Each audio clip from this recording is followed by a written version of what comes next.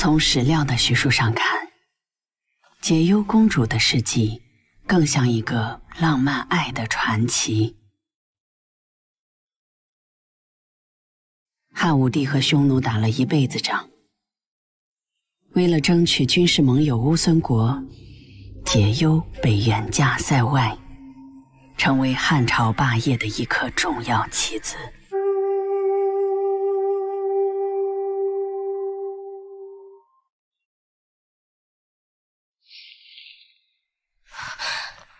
臣女参见陛下。赐公主符节。这位公主任重道远，她要为国献身，要得到乌孙王的爱，要让整个乌孙为她而战。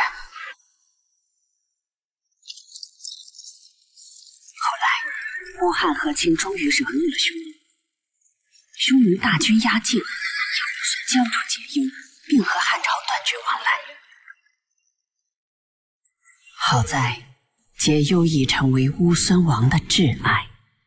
磨快你们的刀，喂饱你们的马，匈奴来多少人，乌孙就杀多少人。被拯救的公主。是英雄故事里的标配。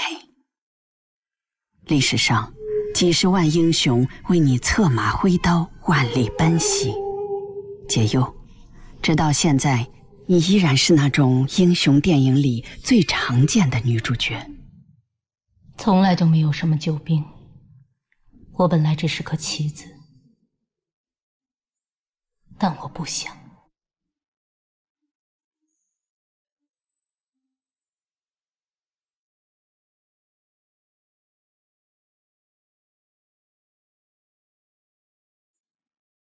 你嫁去的乌孙国在西域，汉朝的西域从狭义上讲，主要指今天的玉门关、阳关以西、葱岭以东、巴尔喀什湖以东、以南和新疆的广大地区。乌孙是西域的一个大国，极盛时占有整个伊犁河流域和西天山的广大土地。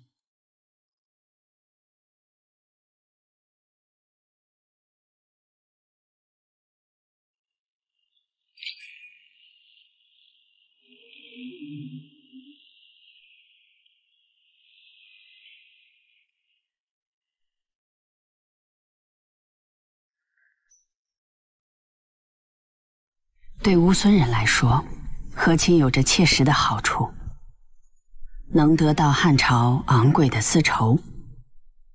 你的日常工作就是定期赏赐乌孙贵族，通过释放善意，让乌孙与汉朝为友，与匈奴为敌。可你的运气真不怎么样，结婚没几年，丈夫就死了。很快，另一个陌生男人走进了你的战场。他是我丈夫的堂弟。我丈夫死的时候没有成年的儿子，按照草原人的传统，王位只能传给这个弟弟。哦，你得改嫁了。乌孙的国王叫做昆莫，你要嫁给一个新的昆莫了。是啊，这也是草原人的传统。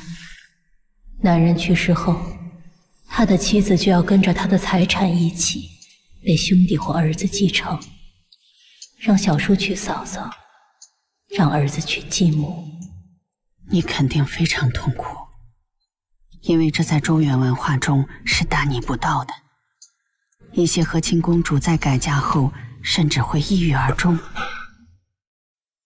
可我在史料上找不到一句你关于这件事的哀叹。陛下怎么说，要遵从乌孙的国俗要与乌孙共灭吴当时汉匈已经恶战了二十多年双方都没钱打仗了汉朝连战马都凑不出了匈奴也受到重创不得不远离汉朝边境退却到西北苦寒之地。从西域各国收取沉重的赋税，压榨西域人，才能勉强与西汉对峙。如果乌孙能带动西域各国反抗匈奴，就能切断匈奴的经济补给，这就是汉朝与乌孙和亲的目标。公主，秋瓷很早就开始耕种了，甚至能种出稻子来，是一个天然的粮仓。这就是匈奴人要把秋瓷死死攥在手里的原因。奴婢都记在这里了。很好。根据史料推测，在长期的异国生活中，你与裴家的亲信还要时刻关注匈奴与各国的往来，掌握匈奴在西域的动向。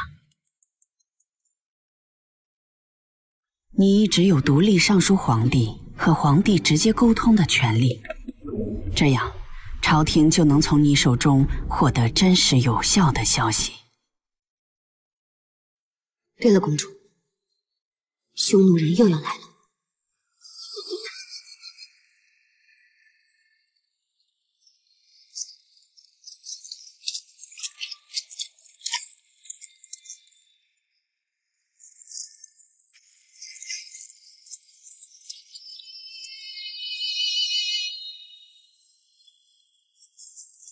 离谱的是，女人和钱财并没有让乌孙真的成为汉朝的。乌孙依然在跟匈奴深度往来。眼见乌汉和亲，匈奴单于也立马送了个女儿到乌孙，嫁给了我的第一个丈夫上一任昆木。昆木封她为左夫人，封我为右夫人。这位左夫人还早早的生下了一个孩子。昆木去世后，他们依然留在乌孙。乌孙的习俗是以左为贵，从这点可以看出，当时乌孙对匈奴更为畏惧。这次匈奴人狮子大开口，想要五百匹战马，昆莫金一口答应了。您怎么不拦着他？若陛下得到消息，一定会怪罪于您的。我能如何？昆莫又怎么会听我的？他不敢与匈奴公然为敌，对他来说，汉朝远在天边，就算暂时得罪，汉朝也难以发兵远征。可匈奴却近在咫尺，是时刻悬在头上的一把利剑告我父亲，他等的一匹也不会少。风凉。上次朝廷送来的绸缎还剩多少？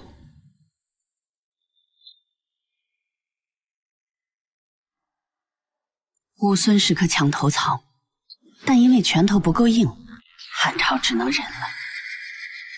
这让你在乌孙处处掣肘。你的侍女冯辽写的一手好字，精通多国外语。你经常让他带着贵重的丝绸，代表汉朝出使附近各国。这通常是男人的工作，比如汉使张骞。那一年，匈奴屯粮喂马，十分可疑。我派阿廖去邻国打探匈奴的计划，他却迟迟没有回来。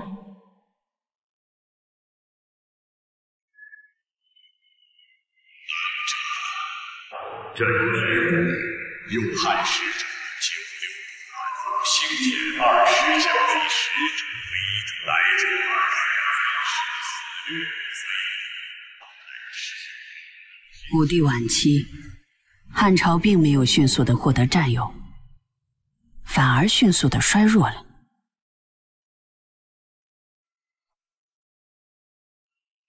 事实上，不管是打击匈奴，还是经略西域，汉朝都消耗巨大，经年累月，陷入了严重的经济危机。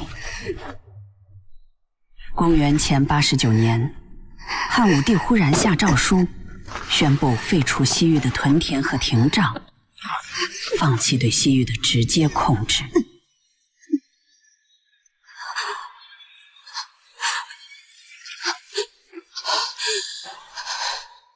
汉朝势力回撤，匈奴在西域独大，各国不敢对匈奴再有二心，纷纷斩杀过往汉室。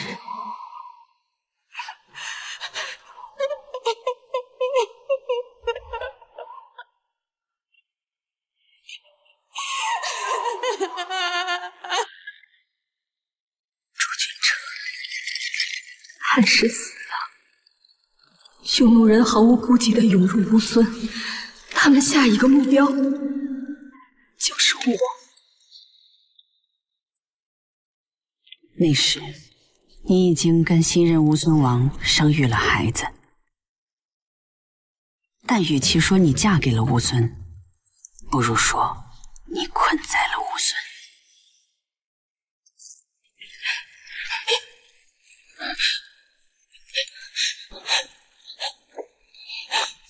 来人！来人！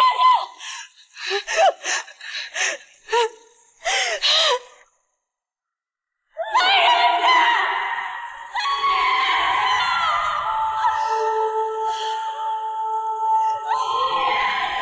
在匈奴人眼里，你是汉朝安插在西域的耳目，是汉朝鼓动各国敌对匈奴的喉舌。不杀不罢休。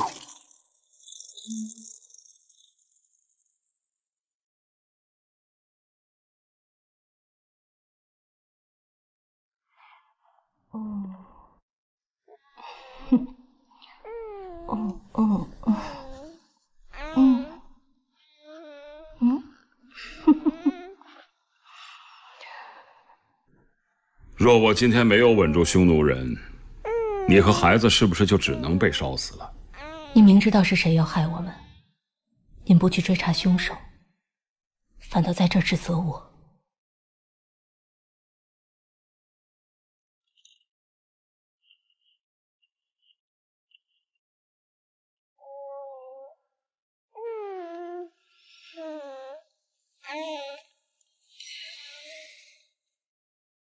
这个公道我给不了。乌孙自立国起，就是匈奴的钱袋子。哪怕这个冬天，我们冻死了一半的牲口，来年开春，我们还是要足数的交出牛羊马匹。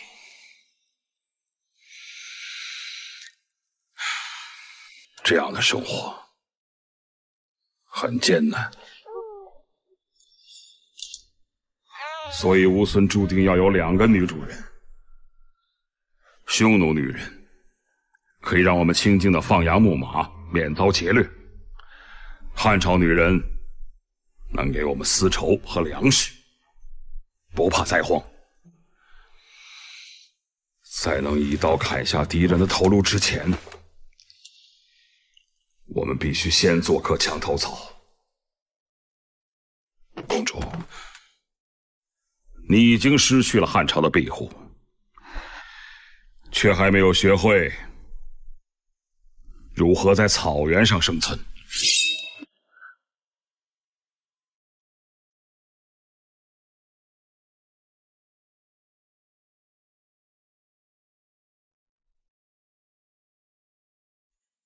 你的墙头草丈夫，其实不甘心苟活在匈奴人的淫威之下。你敏锐的抓住了这一点。你好像很喜欢我们汉人的东西。你知道，在你这个舒服的、像仙境一样的毡帐里面，我最感兴趣的只有这把环手刀。我听说，正是这把刀，让你们汉人从匈奴手里面劈出了河西四郡，又将单于的王庭赶出了漠南。昆莫，汉人制造武器，会在兵器上留下汉人工匠的名字，以便寻名问责。您可以看一下这把刀的刀刃上有没有汉人工匠的名字。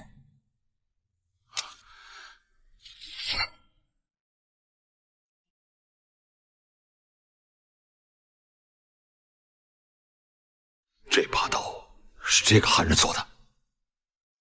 不错，这个汉人工匠是随我家来乌孙国的。在汉朝，断铁术外泄是死罪，但今天我可以把它送给你。这个人现在在哪儿？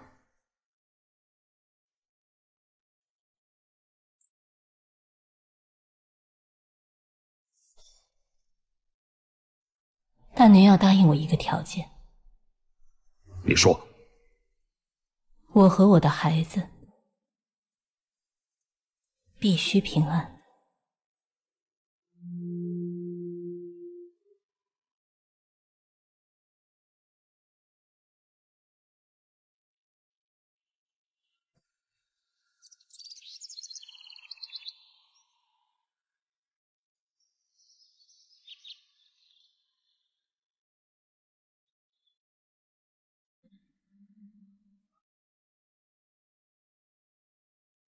其实，你算不上什么正经公主，你只是个刘姓宗室女。你的爷爷曾犯下谋逆的大罪，所以你的出身很不好。和亲蛮夷的差事也就落到了你头上。汉人大多瞧不上乌孙人，说他们刚强凶恶。贪财，不讲信义。那你还想着乌孙王的庇护？他不是靠得住的良人。仓廪实而知礼节，谁又比谁更高贵？他也许不是良人，但一定会是盟友。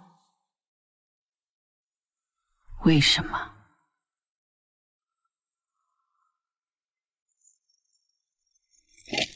因为敌人的敌人就是朋友。我要做的是让这个朋友足够强大。除了需要汉朝的丝绸，我必须让乌孙真正的需要我。昆莫，试试吧。正是这把刀，让汉人拥有了大败草原的力量。史料记载。乌孙的冶铁技术差，兵器不锋利，所以五个乌孙士兵的战斗力才相当于一个汉人士兵。和汉匈两国相比，乌孙的兵力实在很弱。但这个问题在与汉朝和亲后得到了改善。你加入乌孙时，带来了一个百余人的陪嫁团队。其中有很多能工巧匠，中原文化和生产技术也随你进入到了这个游牧民族，尤其是对乌孙发展生产和军事至关重要的冶铁技术。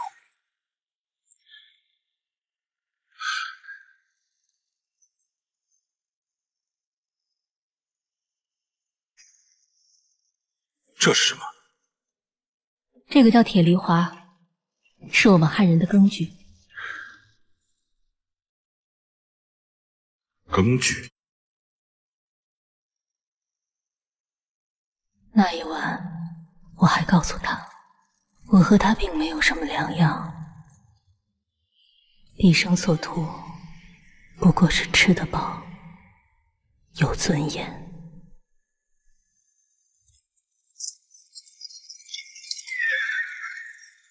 衡量一国实力的关键指标是人口。汉朝第一次与乌孙取得联系的时候，乌孙只有几万士兵。到了西汉晚期，乌孙拥有甲兵十八万，总人口翻了一倍不止。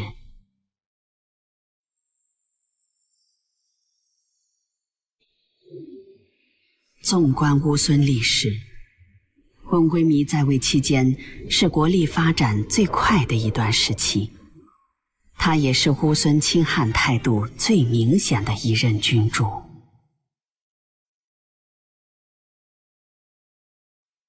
传我的令，乌孙不再向匈奴上交任何赋税，哪怕是一头羊、一张皮。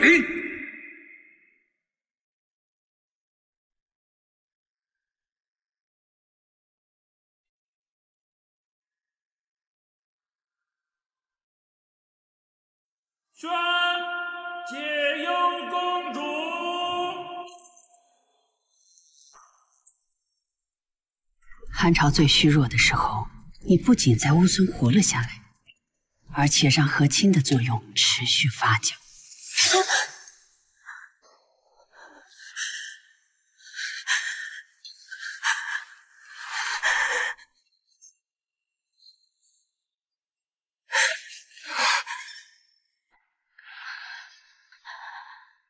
只不过，你也彻底成了匈奴在西域的头号敌人。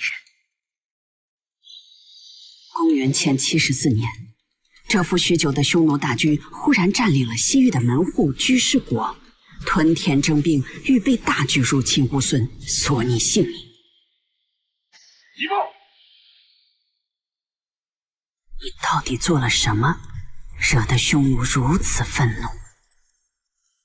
数月前，匈奴欲发两万精兵去攻打乌桓，被几个投降汉朝的匈奴人走漏了消息。汉朝亦从辽东发兵两万，试图截击匈奴，打他们一个措手不及。其实，匈奴对乌孙的这顿脾气发的简单粗暴，在东线战场上，他们差点被汉军暗算，又怕又怒，便掉头转向了西边的乌孙。我们的探子来报。匈奴使者很快就会抵达赤谷城。派使者来做什么？一边向我们挥刀，一边还要找我们要钱要粮。不，这次是要人。汉匈已经很多年没有正面作战了，这次匈奴依然不敢直接向汉军出兵，于是威胁乌孙。交出和亲的汉家公主。如今，匈奴人无能到要拿女人来撒气，还要让愚蠢的居士人充军。昆木，此事不必在意。磨快你们的刀，喂饱你们的马。匈奴来多少人？我乌孙就杀多少人。匈奴不是乌孙的敌人，至少不是我的敌人。倪弥，他的父亲是你的第一个丈夫，前任乌孙王，母亲则是那位乌孙王的匈奴夫人。倪弥继承了父亲的部落势力。也是乌孙人里的亲兄派。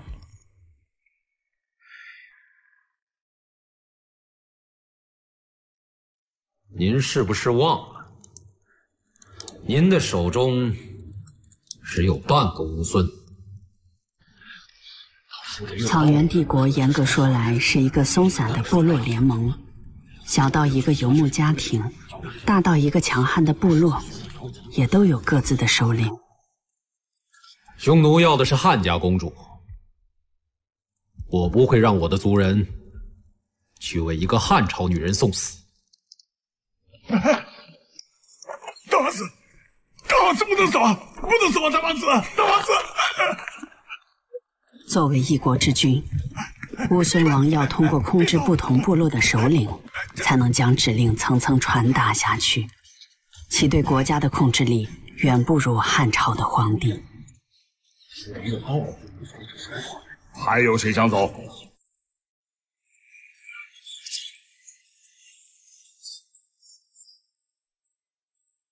诸位何必为了一个女人不快？其实，想让匈奴退兵，解乌孙之困并不难。匈奴要拿我做借口，便是送了乌孙强有力的援军。公主的意思是？我会上书陛下，请求汉朝发兵，以解乌孙之困。可是，汉朝已经很久没……没错，汉朝。的确已经很久没有远征西域，但这并不重要。乌孙若求援汉朝，陛下必有回应。匈奴打乌桓的时候，汉朝会趁机发兵截击；难道打乌孙的时候，汉朝会放弃这个机会吗？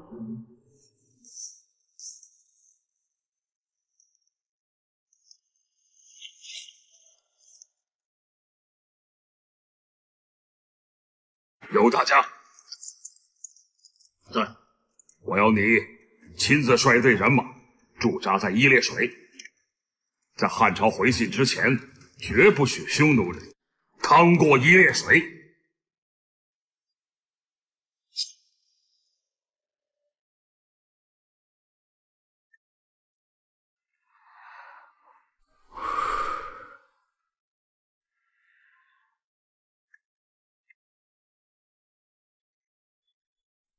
我都忘了，有多久未曾传信回去了。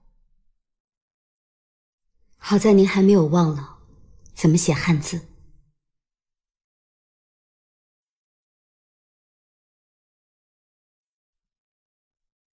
去到秋瓷和燕齐，去楼兰找汉使帮你，千万当心。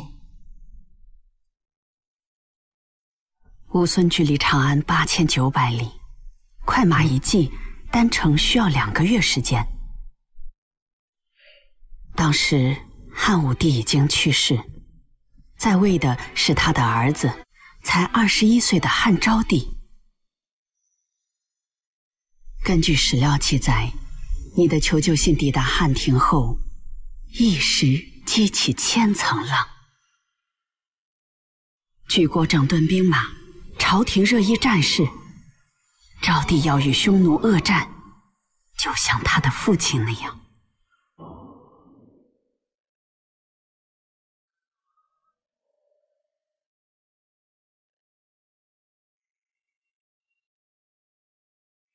然而，我只能再次感慨，你的运气真的太差了。公主，陛下，驾崩了。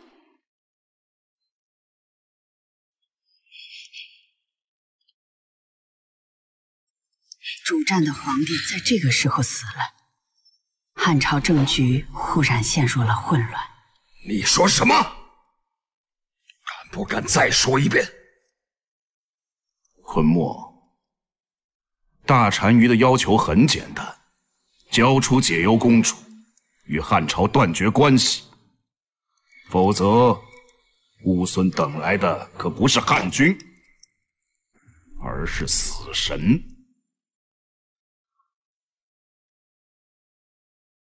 很快，匈奴的口头威胁变成了实际的军事行动。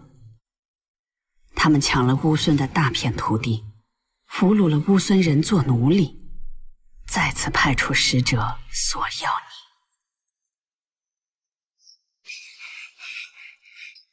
昆伯，你还在犹豫什么？汉朝顾不上我们了。匈奴正是因为算准了这一点，才敢对我们如此嚣张。是想要我出卖妻子。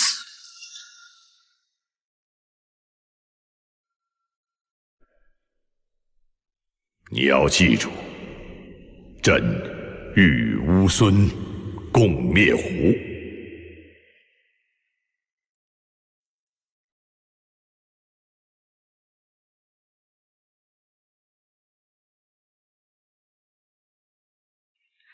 别逞强了。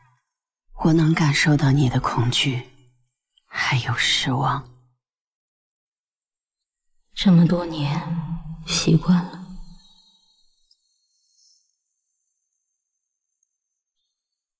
我的爷爷谋反了，我便被送来乌孙和亲。我的丈夫死了，我便要嫁给他的兄弟。后来，我的国君退了，匈奴人便明目张胆要我的命。如今，我的盟友怕了，便要拿我的人头去投诚。你本来就是一颗棋子，只不过现在成了一颗弃子。可我不服。作为女人，你的运气太差了。你的家，你的国，总是顾不上。什么女人，什么运？我不想听这一套，也不能听这一套。我活着，靠的只有一股信念。就因为一问不明，就因为深入草芥，就因为无路可选，我可以怀疑任何人、任何事，唯独不能怀疑这股信念。什么信念？公主，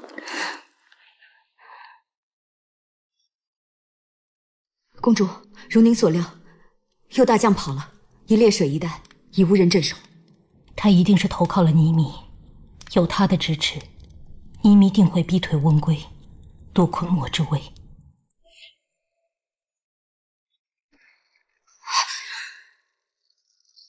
不好！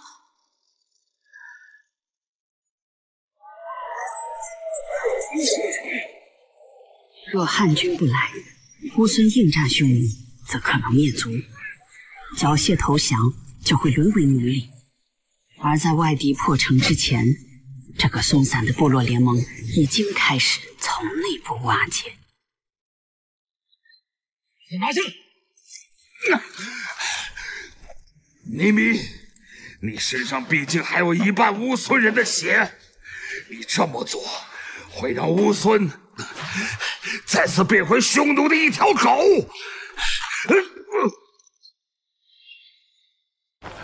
要不是我父亲死的时候我还是个孩子，这昆莫之位还轮不到你来做。至于你的汉家夫人解忧公主，用她一人换全族的性命，不亏。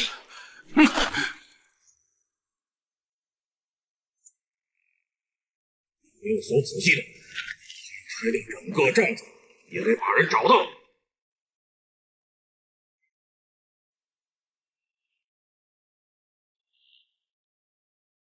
大家，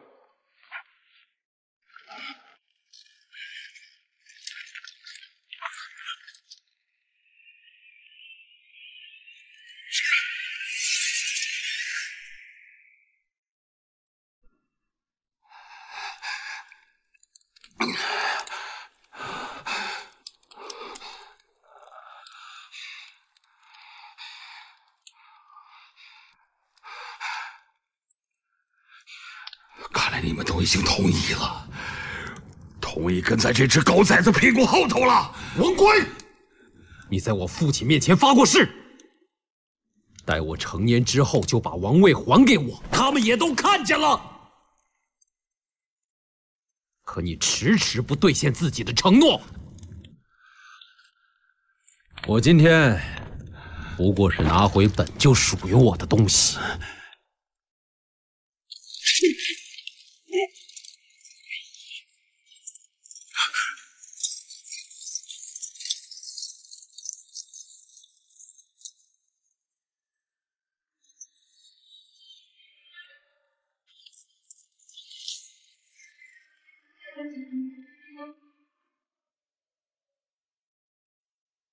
黎明，我们汉人有句话：“德不配位，必有灾殃。”有些东西不是靠抢就能得到。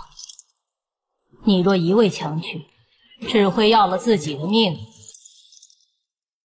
有大将，你怎么能跟他走？我给的还不够吗？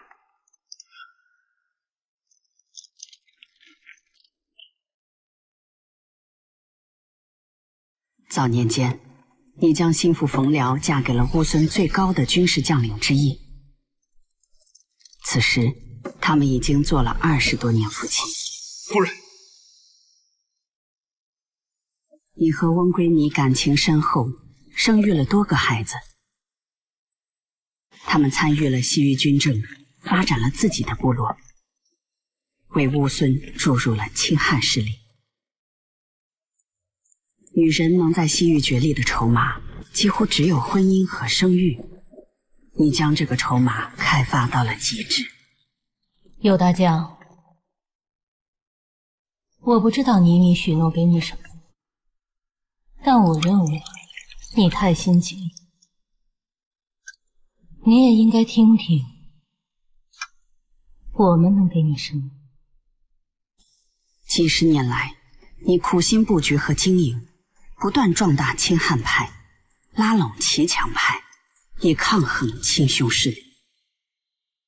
你怎知，现下对我来说，不也是个机会？诸位，我已预备再次上书陛下，请求汉朝发兵援救。公主，已经写过信了，不过对你们的陛下并不管用啊。是，您说的没错。所以这次，我也请昆木向大汉表达了乌孙的决心。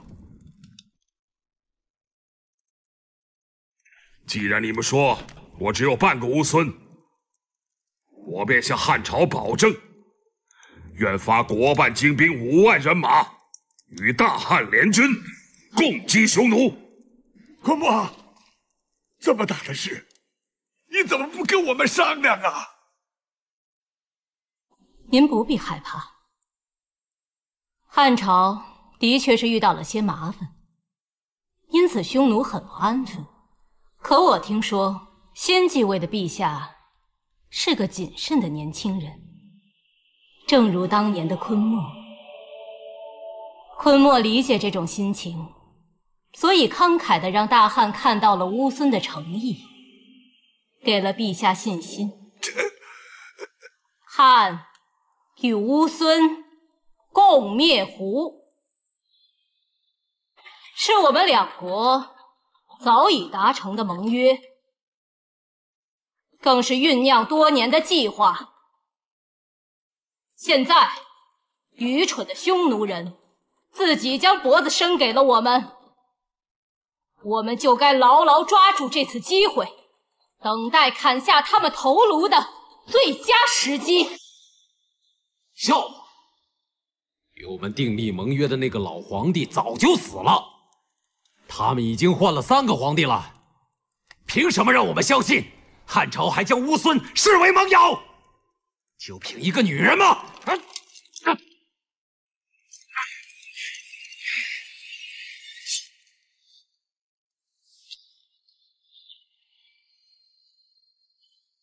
咪咪，你是真的不知道我们家族的男人最痛恨什么？他们最讨厌被人威胁，以及言而无信。就算把我交给匈奴。可以暂时平息他们的怒火，只怕也会引来汉人的仇恨。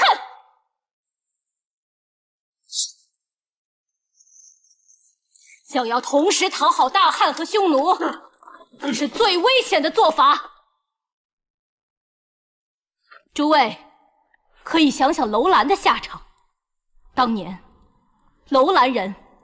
一面帮着大汉打匈奴，一面帮着匈奴杀汉使。这笔仇，大汉可是借了二十多年。直到三年前，汉使傅介子杀了楼兰王，楼兰才知道汉朝是不会轻易放过他们的。他们献上了伊巡城，让汉军屯田。这之后。汉朝又继续深入西北，为的是延续先帝的遗策，威西国，复乌孙。如今，大汉的盟约还要不要相信？这个选择并不困难。诸位还可以再想想匈奴。最近，他们一直在自相残杀。新上任的胡眼低单于得位不正，引得诸部不服，更是频频在战事上吃亏，无力与汉朝和谈，不能为族人带来食物和财富。在草原上让族人挨饿的首领，命都不会太长。这个道理，你们比我懂。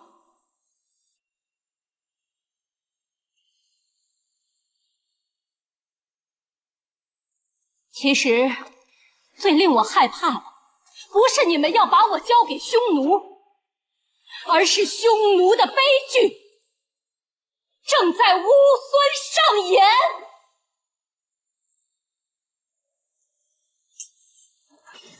公主，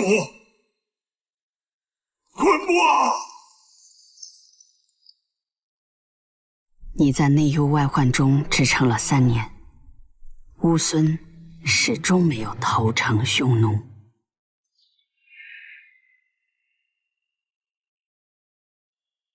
汉昭帝死后，新一任帝王汉宣帝在登基后的第三年，终于采纳了你的建议，与乌孙东西夹击，共击匈奴。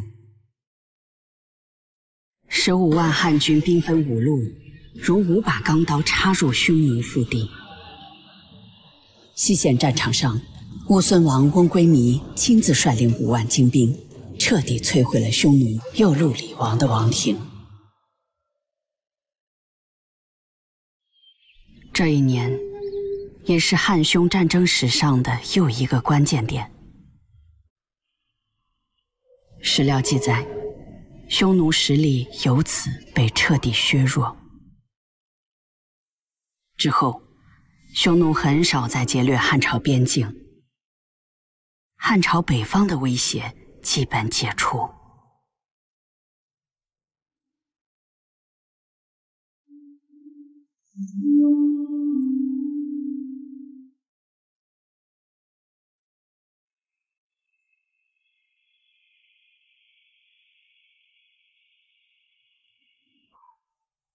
这的确不是一个英雄救美的故事。汉朝的灭胡计划成功了。而你，一个睡在蛮族之榻的女人，也用英雄的功绩洗刷了自己的屈辱，是吗？在你看来，和亲乃国力衰退的不得已之举，而和亲公主是皇帝用血缘影响政局的一个可怜的工具。虽然，这的确是事实。但我不喜欢你用一种同情又感慨的眼神看着我。在我拿到大汉符节的那一刻，我不认为自己只是大汉的一道屈辱的伤口，更不需要得到什么救赎。抱歉，和亲公主是一个多么带有原罪的词。我想，还有一个身份。更适合称呼你，那就是外交官。四公主符节。有学者认为，汉代的和亲公主具有常驻使节的作用，因为她们被皇帝授予了汉朝的符节。符节就是使者身份和权力的凭证。出家后。和亲公主和她的陪同团队将一直在和亲国生活，向朝廷汇报和亲国的国情与动态，推动和亲国君主采取有利于母国的政策，甚至直接参与国际谈判和斡旋。两国互派常驻使节是在17世纪后半叶才成为普遍的国际制度，而在公元前一世纪。